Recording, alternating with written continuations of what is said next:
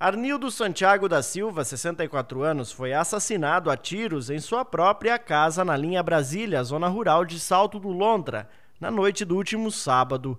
O suspeito pelo crime é seu ex-genro, que fugiu após os fatos e não foi localizado.